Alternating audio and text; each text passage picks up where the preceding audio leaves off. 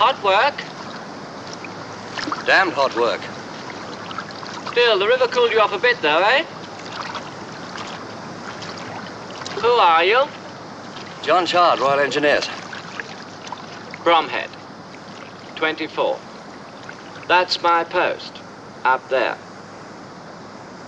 You've come down from the column? That's right. They want a bridge across the river.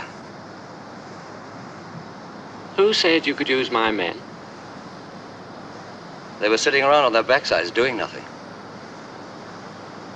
Rather you asked first, old boy. I was told that officer was out hunting. Uh, yes.